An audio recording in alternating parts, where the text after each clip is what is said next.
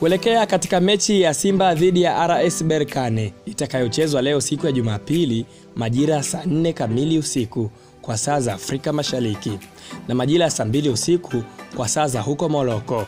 Kama ilivyo kawaida, msemaji wa Simba ametamba kuelekea katika mechi hiyo. Kupitia ukurasa wake wa Instagram, msemaji wa Simba Ahmed Ali amewapiga dongo Dar es Salaam Young Africans ambao ni watani wao wa jadi.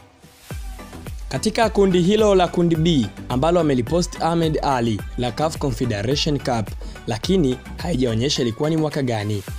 Imeonyesha katika kundi hilo kulikuwa na vilabu vinne, klabu ya ASEC Mimosas ambayo ilikuwa imekwisha cheza mechi zake sita na kuambulia pointi 13, Manning Rangers ambayo ilicheza mechi sita pia na kuambulia pointi 10, Raja CA Casablanca akicheza mechi sita na kuambulia pointi 8, kisha Dar es Salaam Young Africans yeye akicheza mechi sita na kuambulia pointi mbili tu.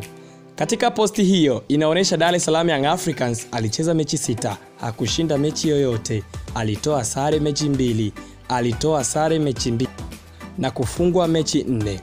Baada ya kuweka posti hiyo chini, Ahmed Ali aliweka caption iliyokwenda hivi: hivi mliwezaje kucheza mechi tano mkapata points mbili tu? Kisha akaweka emoji ya kucheka. Mbona sisi mechi mbili tayari tuna points nne? Kisha akaendelea kwa kusema anyway, moja kati ya majukumu yetu Simba Sports ni kufuta aibu hii iliyowekwa na wenzetu kwa miaka kadhaa huko nyuma. Halafu mkikaa kukumbushana historia yenu, huwa hamtaji kama mmewahi kuburuza mkia mara nyingi zaidi.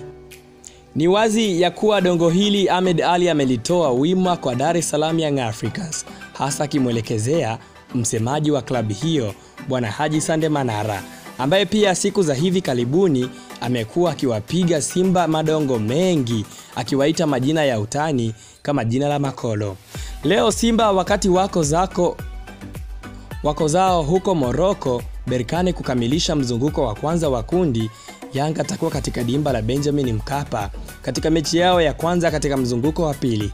Aidha, Simba watakabiliana na klabu ya Biashara United pindi watakaporejea Bongo.